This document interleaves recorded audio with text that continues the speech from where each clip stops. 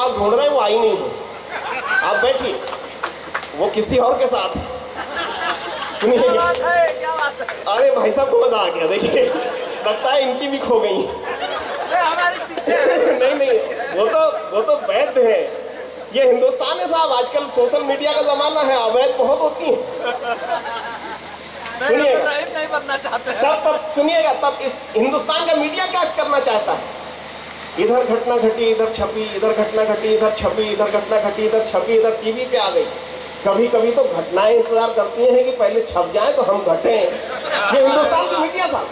हिंदुस्तान की मीडिया के बारे में मुझे तो एक, एक कहावत याद आ रही है एक एक घटना याद आ रही हमारे झांसी के पास में एक जंगल है। उस जंगल में अभी गर्मियों के दिन थे। बहुत भीषण गर्मी थी। उस जंगल का राजा बरगद के नीचे शेर सोया हुआ था। उस बरगद के पेड़ पर दो, एक बंदर, एक बंदरिया बैठे थे। हिंदुस्तान के मीडिया के संबंध में सुनना पांडे बंदर और बंदरिया बैठे थे। बंदर अपनी बहादुरी के किस्से सुना रहा था। मैंने ये किया, मैंने वो किया, मैं ये कर सकता हूँ, मैं वो कर सकता हूँ। बंदरिया बोर हो रही थी, उसे नींद आ रही थी। उसने सोचा कि यार इसकी बकबक कब बंद होगी। उसने कहा रे बंदर, तू अगर इतना ही बहादुर है तो जाके इस शेर की पूछ है बंदर दिमाग का बहुत तेज होता है। उसने देखा कि शेर गहरी नींद में है, फटाफट गया, उसने पूछ ऐंठ दी बंदर शेर की? और जाके दूर खड़ा हो गया। शेर एकदम से दहाड़ा, कौन किसकी हिम्मत हो गई कि राजा का, जंगल का राजा उसकी पूछ दे उसने इधर उधर नज़र दौड़ाई तो देखा एक पित्ती सा बंदर उधर खड़ा है। वो समझ गया कि इसी की हरकत है, बंदर बहुत शरारती होता है। उसने बंदर को दौड़ा लिया, साहब आगे आगे, बंदर पीछे पीछे शेर आगे आगे, बंदर पीछे पीछे शेर मीडिया के संबंध में सुनना, मज़ा लेना।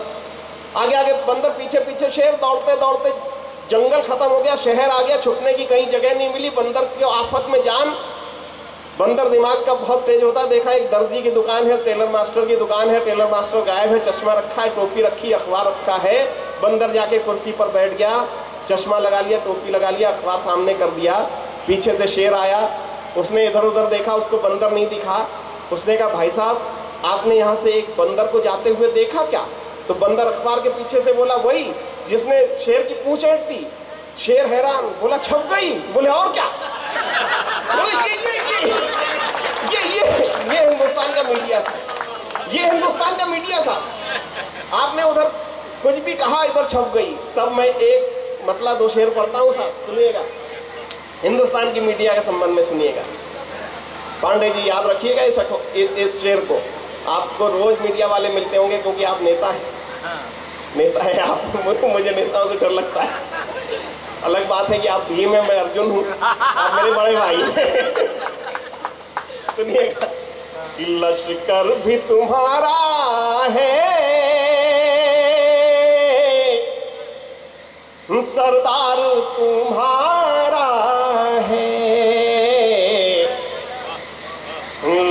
लश्कर भी तुम्हारा है। सरदार तुम्हारा है। और तुम झूठ को सच लिख दो। अखबार तुम्हारा है। इधर वालों को समझ में नहीं आई क्या? समझ में आई तो ताली बजाया। एक बार बजाओ तुम झूठ को सच लिख दो। अखबार तुम्हारा है।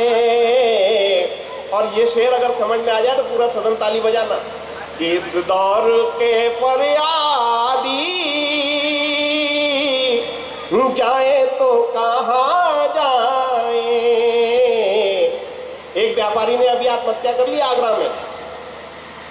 किस लिए की? महीने में छह बार उसको जीएसटी का रिटर्न भरना था, परेशान हो गया, छोटा सा व्यापारी था बेचारा। उसकी बहुत ज़्यादा टर्नओवर नहीं थी। और जाके कहाँ मरा? जहाँ जीएसटी ऑफ़िस है, उसके ठीक सामने बरगद के पेड़ पर टंग गया और मर गया। शेर सुनिएगा। इस दौर के फरियादी, जाए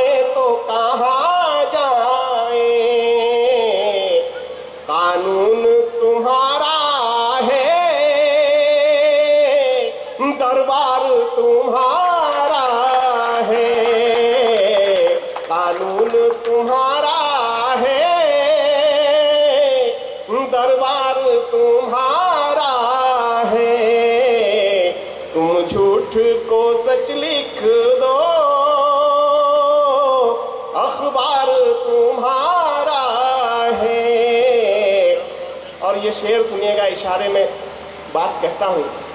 अगर आपको अच्छा लगे, आपको इशारे की शायरी समझ में आ जाए, कविता इशारे की होती है प्रतीकों के माध्यम से होती है, वो चीज़ अगर समझ में आ जाए तो मुझे एहसास कराइएगा और ये भी एहसास कराइएगा कि मुझे कब बैठना है। क्योंकि बहुत ज़्यादा मैं आपके प्राण नहीं पीऊँगा, क्योंकि बहुत देर तक आप लोगों को, आप लोगों के अगर मैं मैं बहुत शुद्ध शाकाहारी आदमी हूँ और आप लोगों के प्राण नहीं पीना चाहता, ये शेर सुनिएगा।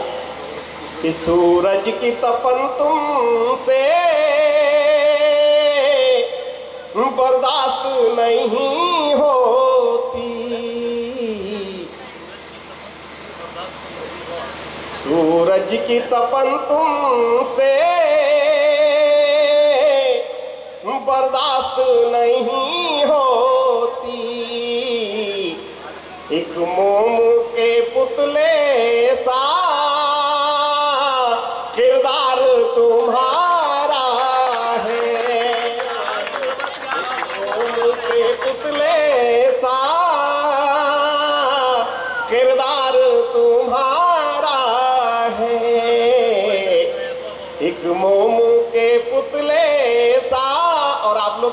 मुझे बिल्कुल एहसास करा दीजिएगा बता दीजिएगा कि मुझे कब बंद करना है। क्योंकि मुझे याद मुझे मैं हाँ जी बिल्कुल बिल्कुल सुना क्योंकि मुझे याद है अभी हम लोग हम और दद्दू थे वहाँ पे।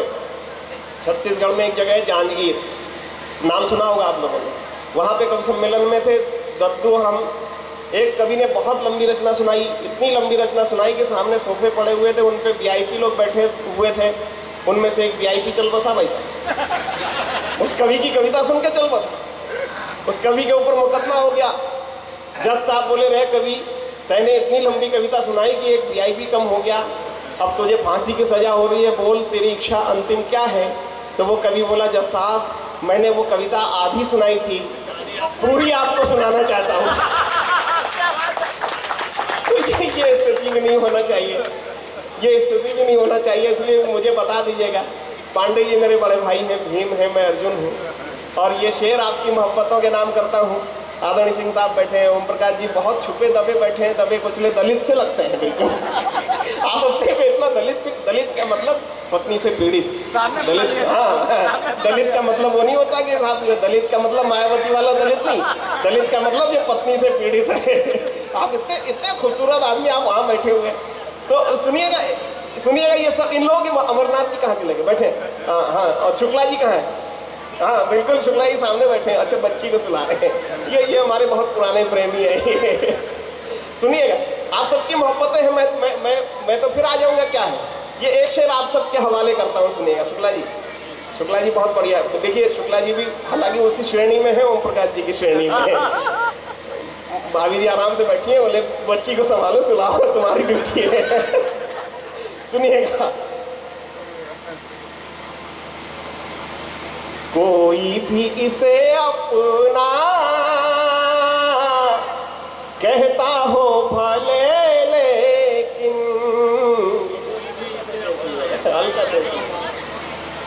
कोई भी इसे अपना कहता हो भले, लेकिन इस चाँद पर तो केवल तुम्हारा है।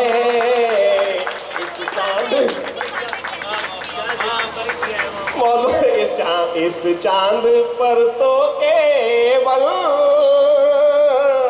अधिकार तुम्हारा है। तुम झूठ को सच लिख दो।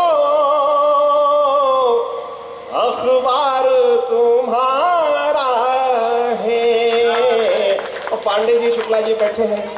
तो साहब, मैं बता दूँ, ब्राह्मण लोग बड़े अच्छे होते हैं। ब्राह्मणों की कृपा से ही सब चलता है। मैंने तो पिछले दिनों पूछ लिया पांडे जी से कि, यार, पांडे जी, ये बताओ, इतने सारे गोत्र होते हैं आपके यहाँ? पांडे जी, दुबे जी, शुक्ला जी, त्रिपाठी जी, फलाने जी, ठिकाने जी। भाई साहब, हमारे मोहल्ले में तो एक दुबे जी। शुक्ला जी, हमारे मोहल्ले में एक दुबे जी है। बहुत हाजिर जवाब है, बहुत हाजिर जवाब है। मुझे नहीं मालूम यहाँ दुबे जी कोई है कि नहीं है। बहुत हाजिर जवाब है, कोई भी यहाँ कौशिक साहब बैठे हुए हैं, ये डॉक्टर प्रेरणा जी के हस्बैंड ये भी कौशिक। देखिए, एक गोत्र, नया गोत्र, कौशिक। मुझे तो याद है साहब हमारे मोहल्ले में एक दुबे जी है भाई साहब, आदरणीय दादा। हमारे मोहल्ले में दुबे जी बहुत हाजिर जवाब है, कोई भी किसी भी बड़ी टेंशन में हो, आप दुबे जी के पास जाइए, दो मिनट बात करिए, गुफ्तगू करिए, बिल्कुल आप रिलैक्स हो जाएँगे फ्री हो जाएँगे, बिल्कुल हँसते हुए लौटेंगे। पिछले दिनों तो मुझे याद आ रहा है, एक त्रिपाठी जी और चतुर्वेदी जी। एक चतुर्वेदी जी और त्रिवेदी जी पहुँच गए उनके पास, दुबे जी के पास। त्रिवेदी जी ने दुबे जी से पूछ लिया, यार, दुबे, तुम दुबे कैसे? तो दुबे जी ने दो मिनट, दुबे जी दो मिनट सकते में आगे पांडे जी। दो मिनट के लिए सर खोजाया, बोले, यार, त्रिवेदी जी, अपना तो बहुत सीधा साधा हिसाब है। अपनी एक माँ, एक पिता, कुल मिला के दो से पैदा, इसलिए दुबे। चतुर्वेदी, त्रिवेदी से बोले, चलो, अपन टहल आए। समझ में आए तो टिप्पणी तो बजा लेते ना, ताली बजाते जाना चतुर्वेदी जी बोले, चलो, अपन टहल आए साहब टहलते टहलते बहुत दूर निकल गए। उधर से देखा मिश्रा जी चले आ रहे हैं। त्रिवेदी ने पूछ लिया, मिश्रा, कहाँ जा रहे हो? बोले, यार, समय नहीं कट रहा, सोच रहा हूँ दुबे के पास चला जाऊँ, थोड़ा समय पास हो जाएगा। बोले, मत जाओ, बहुत बाहियात किस्म का आदमी है, बहुत बाहियात किस्म का आदमी है। बोले, क्या हुआ? बोले, कुछ नहीं। त्रिवेदी ने पूछ लिया, तुम दुबे कैसे? तो कहता है एक माँ, एक पिता, दो से पैदा दुबेदी। मैं त्रिवेदी हूँ, ये चतुर्वेदी हैं, किसी तरह एडजस्ट कर लेंगे। तुम तो मिश्रा हो? तो ये जो ये जो ब्राह्मण लोग होते हैं बहुत सारी जातियाँ होती हैं बहुत सारे इनके गोत्र होते हैं ताली बजाओ एक बार जोरदार बहुत सारे गोत्र होते हैं। बोले साहब ये ये ये ये बहुत सारे गोत्र होते हैं साहब। अभी ए, एक जो है एक होते हैं इनमें अग्नि अग्निहोत्री। मैंने पिछले दिनों पूछ लिया पांडे जी से मुझे मैंने पांडे जी ये अग्निहोत्री क्या होते हैं? बोले जो जो दूसरों की जलाई जो खुद की जलाई आग में दूसरे के घर को होम कर दे, वो अग्निहोत्री होते हैं ये बहुत हाजिर जवाब आदमी है पांडे जी हमारे। आइए, बहुत अच्छा कवि सम्मेलन चल रहा है। मैं चाह रहा था कि कुछ अच्छी कविताएँ सुना दूँ। अभी तक मैं बकवास कर रहा था, अगर आप सबकी इच्छा हो तो एक अच्छी सी कविता एक अच्छी सी कविता। इन दिनों इन दिनों पूरे देश में थोड़ा सा कवि सम्मेलन को भारी करने की कोशिश करता हूँ, दू- दूसरी दिशा में ले जाने की कोशिश करता हूँ। जैसा कि मेरी आदत है आपको हंसाते हंसाते कहीं ना कहीं वहाँ तक ले जाना चाहता हूँ, जहाँ तक ले जाने की कोशिश मेरी हमेशा की रहती है। एक छोटी सी कविता पढ़ना चाहता हूँ। इन दिनों पूरे देश में गौ हत्या को लेके, गौ हत्यारों को लेके और गौ तस्करों के लेके बहुत सारी बातें हो रही हैं और बहुत सारी हत्याएँ भी हो रही हैं। गोमांस को लेके बहुत सारी हत्याएँ हो रही हैं। मैं आज दिन में घूम रहा था, आदरणीय पांडे जी ने हम लोगों को घुमाने की व्यवस्था कर दी थी। मगर यहाँ मैंने देखा कि यहाँ वो समस्या नहीं है जो हमारे उत्तर भारत में है। आप लोग कभी उत्तर भारत में गए होंगे, उत्तर प्रदेश में खास करके और बिहार में तो वहाँ सारे जानवर, जो गौ माता, जिस गौ माता को हम पूछते हैं, जिस गौ माता के लिए हम दूसरे की जान लेने को तुल जाते हैं, वो गौ माता आजकल बरसात के दिन चल रहे हैं। मैं अभी कानपुर, झांसी से कानपुर जा रहा था, मैं अपनी कार से था खुद ड्राइव कर रहा था आदरणीय कौशिक साहब। तो हमारे यहाँ एक चिरगांव पड़ता है, चिरगांव से लेके सेमरी तक।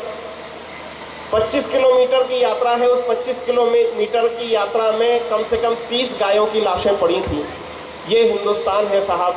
जिस हिंदुस्तान में कोई गाय को ले जाने वाले आदमी को भी ये कह के मार दिया जाता कि ये गौ तस्कर है, गौ हत्यारा है। मगर उसी गाय को जो सड़क पर घूमती है, जो ट्रक के नीचे आके मर जाती है उसकी लाश को कहीं दफनाने वाला नहीं मिलता है, कोई दफनाने वाला नहीं मिलता, वो सड़ती रहती है और बदबू फैलाती है। तब ये एक कविता गौ माता की तरफ़ से, गौ माता की पीड़ा क्या है? वो पढ़ने की इच्छा अगर है मेरी, अगर आप लोग चाहें तो। बस आपकी तालियाँ चाहिए। एक बार सुनिएगा। चार पाँच मिनट की कविता है। इस हिंदुस्तान में गाय को संरक्षित करने की बात की जाती है, शुक्ला जी। गाय को गाय, गौ हत्यारों के लिए हत्या तक कर दी जाती है। भाई साहब, थोड़ी देर शिखर बात तक बाद में कर लीजिएगा। बहुत अच्छे लग रहे हैं आप, चश्मा वश्मा लगाए हुए हैं। मेरे ही गोत्र के लग रहे हैं आप। पांडे जी भी चश्मा लगाए हुए हैं। पिछले दिनों से पिछले साल जब मैं आया था तो तीन तरह के चश्मे रखे थे। मैंने पांडे जी से पूछ लिया, ये तीन तरह के कैसे? बोले, यार, चाँद भाई, नज़र बहुत कमज़ोर हो गई है। मैंने कहा तो तीन चश्मे लगाओगे? एक ही बनवाओ? इस, इतनी महँगाई में मैं तो बहुत मुश्किल में एक बनवा पाए हूँ। बोले, कुछ नहीं, आप तीन तरह के ही रखने पड़ते हैं। मैंने, कैसे कैसे? हैं बोले, एक नज़दीक का है, एक दूर का है। हमने कहा, ये तीसरा कैसा है? बोले, तीसरा ये बताता है कौन नज़दीक का है कौन दूर का। तो ये ये स्थितियाँ। तो गौ माता क्या कहती है? एक कविता सुनाने की कोशिश करता हूँ। ये जो बच्चे बोल रहे हैं, इनको थोड़ी देर शांत करा दें। एक अच्छी सी कविता आप लोग सुन लीजिएगा। जहाँ अच्छा लगे, मुझे एहसास कराइएगा, पांडे जी। गाय क्या कहती है? और इस हिंदुस्तान में जो गाय सड़क सड़क पर घूम रही है, सड़कों पर मर रही है, वो क्या कहना चाहती है? सुनिएगा देख, गाय क्या थी, क्या है और क्या स्थिति आगे हो रही है? कि देवों ने भी पूजा, मुझको ऋषियों ने सम्मान दिया। गाय कह रही है, गाय की तरफ़ से कविता है, पूरी सुनिएगा। आप लोग थोड़ी देर के लिए थोड़ा सा हँसी ठहाके को अलग रख के थोड़ा सा दिमाग को कंसंट्रेट करिए। और ये सोचिए कि मैं कुछ अच्छी बात कहने जा रहा हूँ। कि देवों ने भी पूजा मुझको, ऋषियों ने सम्मान दिया। मैं रत्नों की खान रही हूँ, वेदों ने गुणगान किया। देवों ने भी पूजा मुझको, ऋषियों ने सम्मान दिया। मैं रत्नों की खान रही हूँ, वेदों ने गुणगान किया। दूध हमारे, मांस हमारे में, मांस हमारे में विष रहता ये साइंस बताती है। साइंस ने सिद्ध किया है कि गौ मांस में कोई ना कोई विषैला पदार्थ होता है। सुनिएगा, और यहाँ पे साहिल साहब बैठे हैं राना मेरी बहन बैठी हैं। एक बात कहना चाहता हूँ आगे की पंक्ति में, अगर वो बात सही हो तो आपकी तालियाँ चाहता हूँ, आपका आशीष चाहता हूँ, साहिल साहब, कि देवों ने भी पूजा, मुझको ऋषियों ने सम्मान दिया। मैं रत्नों की खान रही हूँ, वेदों ने गुणगान किया।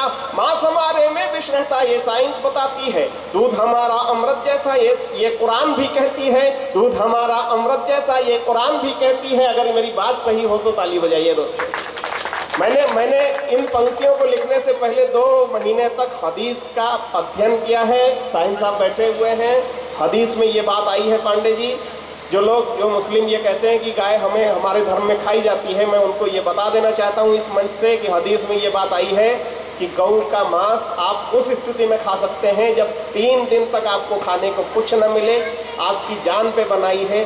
आपकी, आपके प्राण जाने वाले हैं, तभी आप गौ मांस खा सकते हैं, वरना गौ मांस आपके लिए विष के समान है, उसका दूध आपके लिए अमृत है ये बात हदीस में आई है अगर मेरी बात सही है तो आप लोगों को ताली बजा के सबसे बजाएँ।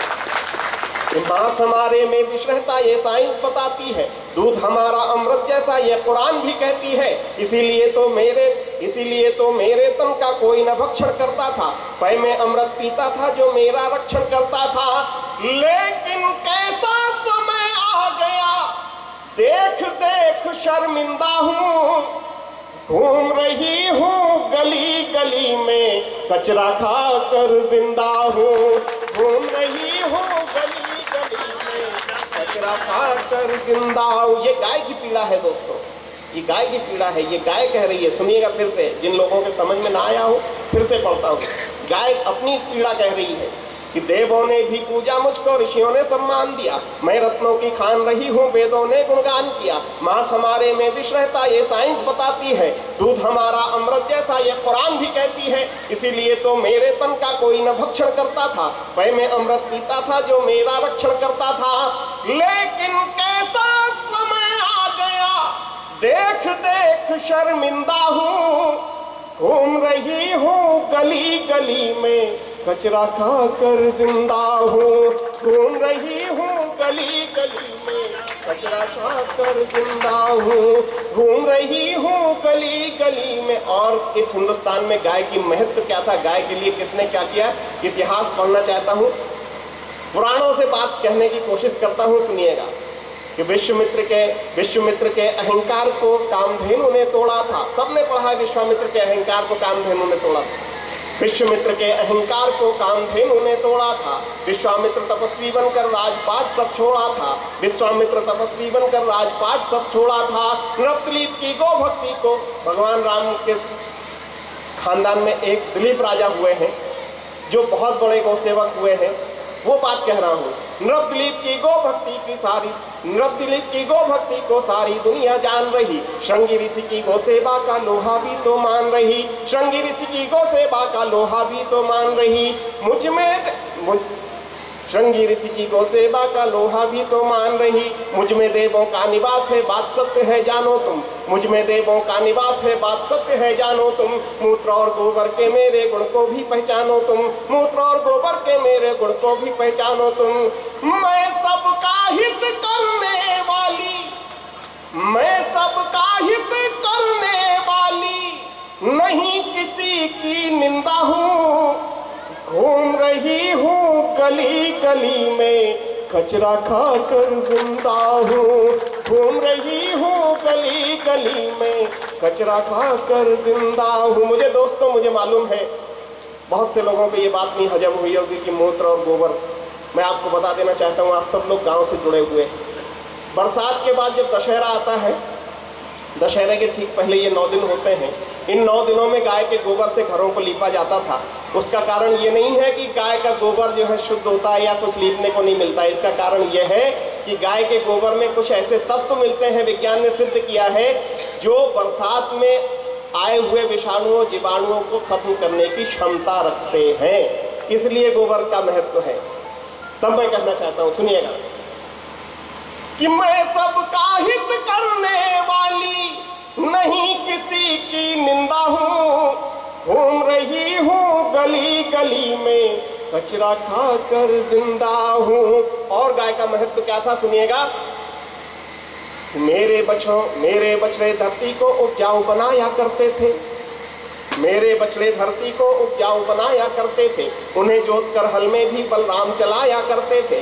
उन्हें जोत कर हल में भी बलराम चलाया करते थे। उन्हें जोत कर हल में भी बलराम चलाया करते थे। नंद बाबा के घर में रहकर सदा रवाया करती थी। नंद बाबा के घर में रहकर सदा रवाया करती थी। कान्हा के संग वृंदावन में चरने जाया करती थी। तीन लोग का स्वामी कान्हा घुटनो घुटनो चलता था। तीन लोग का स्वामी कान्हा घुटनो घुटनो चलता था। दूध हमारा ही पी करके मक्खन खाकर पलता था। दूध हमारा ही पी करके मक्खन खाकर पलता था। मैं, मुझमें ही सीता सावित्री। मुझमें ही सीता सावित्री। मैं गायत्री वृंदा हूँ। घूम रही हूँ गली गली में। कचरा खाकर ज़िंदा हूँ। घूम रही हूँ गली गली में। कचरा खाकर ज़िंदा हूँ। और स्थिति क्या कर दी? अब यहाँ से फटकार लगाती है दोस्तों, ये दोस्त ने महत्व बताया। अब फटकार लगाती है कि माँ कहते हो मुझको पर कर्तव्य पुत्र का भूल गए।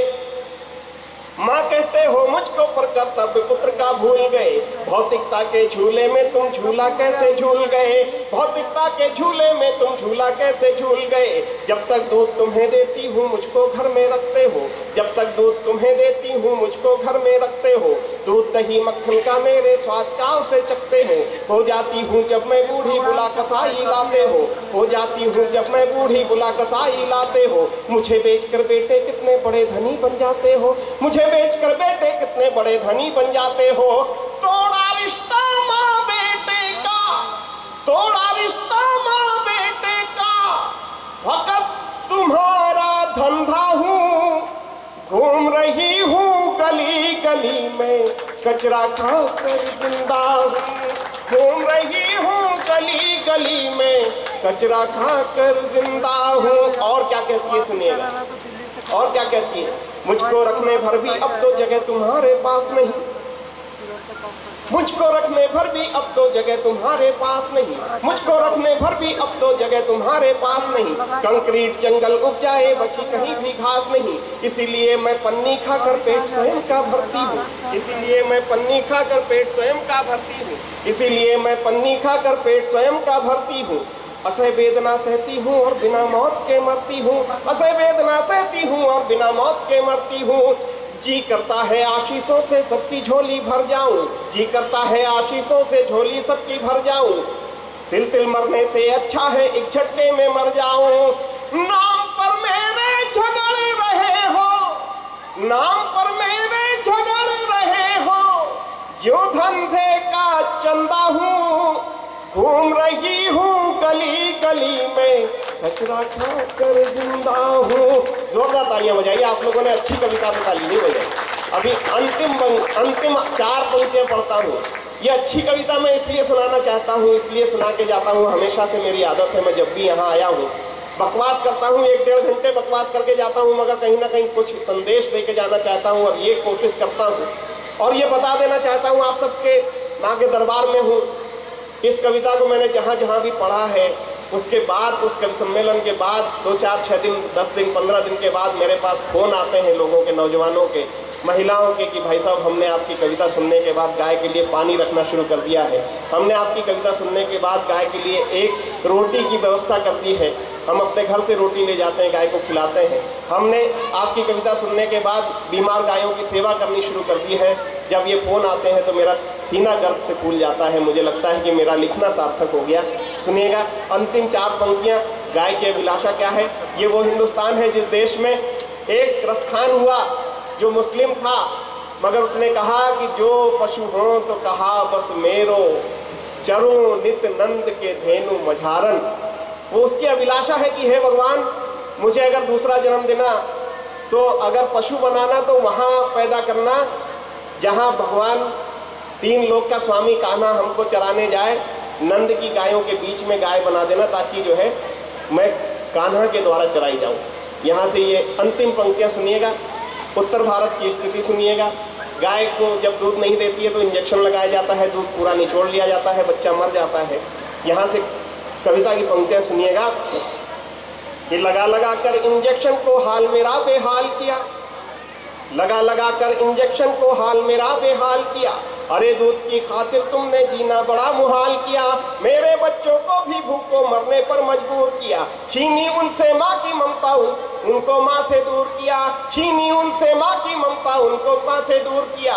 नंद धेनु के बीच चरे जो ऐसा न रसखान मिला। नंद धेनु के बीच चरे जो ऐसा न रसखान मिला। कृष्ण कन्हैया के भारत में कहा मुझे सम्मान मिला? कृष्ण कन्हैया के भारत में कहा मुझे सम्मान मिला? और पूरी कविता की जान, अंतिम पंक्ति, उसकी अभिलाषा क्या है, उसकी इच्छा क्या है? आपके समझ में आ जाए तो हाथ ऊपर करके ताली बजाना पूरा सदन। कि कृष्ण कन्हैया के भारत में कहा मुझे सम्मान मिला? सोच रही हूँ, कोई कह दे। 125 करोड़ लोगों में से कोई एक बोले केवल कि सोच रही हूँ, कोई कह दे। मैं तेरा गोविंदा हूँ।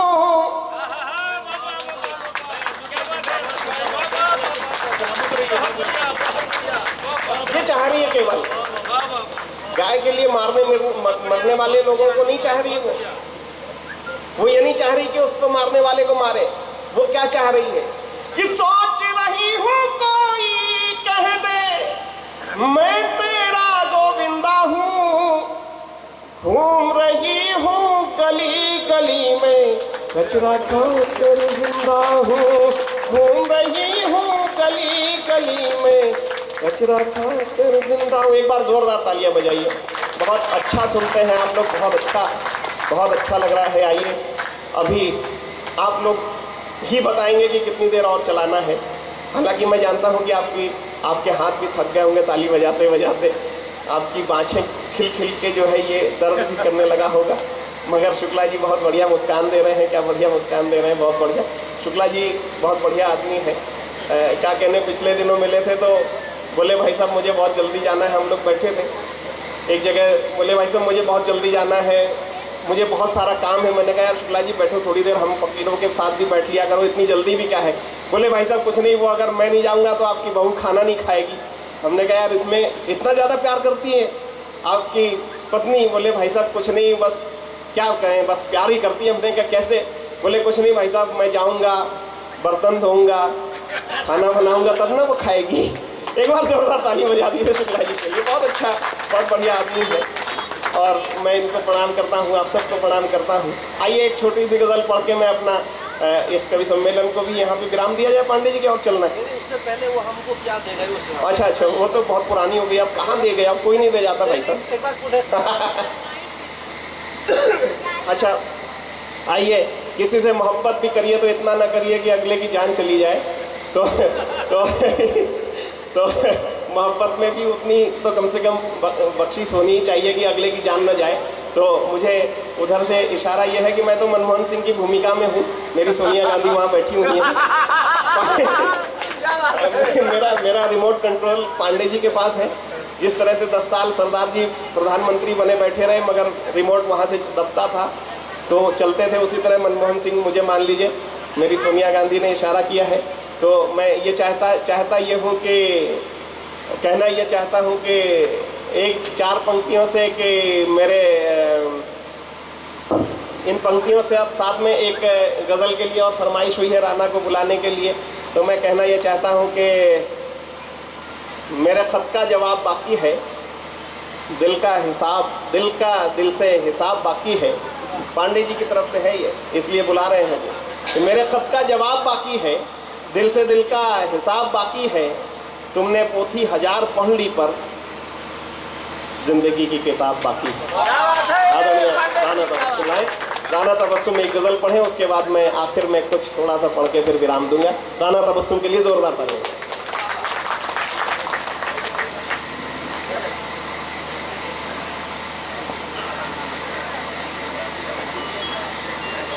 बहुत बहुत धन्यवाद। लेकिन भैया इतना अच्छा पढ़ रहे थे कि अब मेरी हिम्मत ही नहीं हो रही है मैं क्या पढ़ूं। इन्होंने इतने अच्छे अच्छे मैसेज दिए अपनी कविताओं में कि मैं मतलब मेरे पास शब्द नहीं है उनकी तारीफ़ बयान करने के लिए। बहुत अच्छा पढ़ती हैं आप। तो पढ़ती हूँ और ये ये तो- तो गज़ल से आपको जोड़ना चाहती हूँ और तो मुझे ये तो तो कहने की बात है भैया या मत कहिए अच्छा लगता है। अच्छा यानी आपने अपने दिल की अपने अपने दिल की बात कह ही दी। नहीं नहीं नहीं मैंने नहीं कुछ नहीं लेकिन मैं आपके लिए जी, इरशाद। जब आपने अपने दिल की बात ही दी है सुनिएगा कि फूल एक जानिब से एक जानिब से पत्थर आएँगे। फूल एक जानिब से एक जानिब से पत्थर आएँगे अपना अपना जर्फ लेकर लोग बाहर आएँगे और आप मुझसे दोस्ती करने से पहले सोच लें। आप मुझसे दोस्ती करने से पहले सोच लें तोहमतें रुसवाइयाँ इल्ज़ाम भी सर आएँगे। है राणा जी मैंने ऐसा कुछ नहीं कहा था वो ये तो आपकी मोहब्बत है। आपने मुझे नहीं, नवाज़ मैं- दिया मैं मैं बस केवल ये कहना चाहता हूँ आपसे कि एक गज़ल पढ़ें। और मैं मैंने बस केवल ये कहा था कि भैया ये ना कहा करें क्योंकि ठीक है। ये, ये ज़माना दूसरा है। ये ये यूँ- सुनिए सुनिए। और बस ये कहना चाहता हूँ कि आप एक गज़ल पढ़े मुझे एक दोहा याद आ गया। पांडे जी दोहा सुनो है ना? कहाँ ध्यान आपका? कि- अ, न्योत रहा हूँ तुझे मैं बन जा मेरी फ्रेंड तू भी सेकंड हैंड है, मैं भी सेकंड हैंड इसलिए इसलिए आप तो कविता पढ़िए तो अच्छा है। एक बार तालियाँ भी बजाओ भाई है। बहुत बहुत अच्छा पढ़ती है। बहुत बड़ी शायरा है पूरे देश में, बहुत सम्मान से इनको सुना जाता है।